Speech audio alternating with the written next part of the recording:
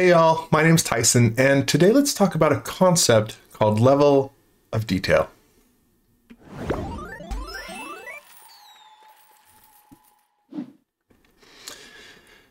This, uh, we're going to use this model that comes straight from our Campus Fundamentals course, uh, the course on Follow Me, the lessons on Follow Me and just talk about this concept. Now, you may be familiar with this, but if you're new to 3D modeling, the concept of level of detail is an important one to understand. So let's have a look.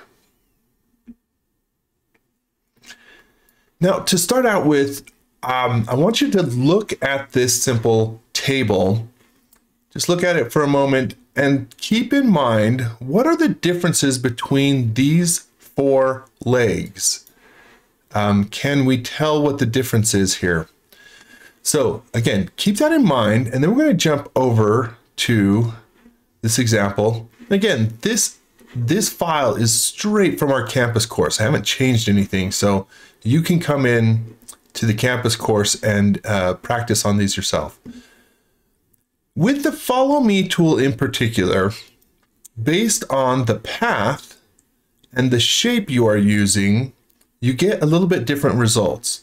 So here we have a 5, um, uh, 8, 12, I think, different paths, and uh, this shape should all be the same. So if I said, let's use that path, follow me, we get sort of five sides. And if I do the same thing for all of these examples, what I'd like to show is this concept that when I view the hidden geometry, you can see that some of these have less uh, actual geometry making them up, and some of these have more. There's a lot more detail in this um, glass than this one or this one based on the number of sides of our path and our shape. Now, when you're new to 3D modeling, it might be uh, intuitive to think, well, I should just add a lot of detail because I want my models to look amazing. And that that's totally valid. The thing to understand though is that if we zoom out a little bit, now can you really tell the difference between these two models? Not really. A little bit this one, but if we zoom out a little more, now the three uh, glasses here, they're really imperceptible. So we need to zoom in a lot before we really start taking advantage of the amount of detail that is in this example.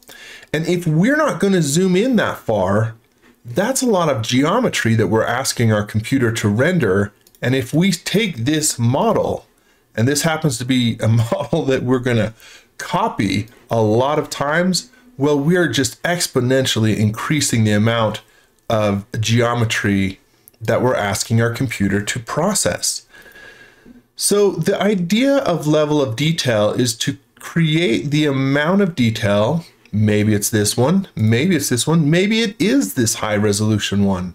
But create the amount of detail that we need based on the type of model we're creating or the type of scene that we're going to be showing um, somebody. Now, again, just to emphasize where you can start to lose, uh, not lose, but reduce um, geometry. This is a good example. Say this simple light bulb, we don't need a lot of detail unless the point was to model a very detailed light bulb. But this is made up of a series of curves. And typically a more shallow curve like this one we can get away with less. So you can see there's only four segments in this curve, whereas this one has 10. Now let's just see what this looks like. This looks fine, especially once we zoom out just a little bit. There's the amount of detail we have. Now again, if I undo this and said, you know what, for purposes of, of whatever reason, I'm going to turn this up to 10 and I'm going to turn this curve um, going to double the amount to 20. And then if we look at this, maybe that's the amount, maybe we want more detail, but don't add it unless you intentionally need it because you're going to be zooming in and this is something you're going to see up close or something that maybe you're going to 3D print. There could be a reasons why you add detail, but more often there's good reason to reduce the detail. All right, so let's jump back here. And again, I've uh, I've given away the hint because I've got my hidden geometry still turned on. The difference between these four legs is that each was created with a different level of detail. And for this kind of gentle curve, there's not there's not much uh, difference visually. Probably this one that has a little bit more detail than this, uh, but certainly a lot less than these two would be as much as we'd need for this leg. Now, if all we were modeling was this table, just this table, a, a high amount of detail could totally be fine. We're modeling one table in a lot of detail. Add more, uh, add more detail by all means. But if this table is just part, a very small part of a larger model, then use a very uh, low level of detail because this is going to be in the background. It's just going to be in the background. We don't need it. Or if you're going to render it, maybe you do. But again, it's highly subjective. Just something to keep in mind is that level of detail.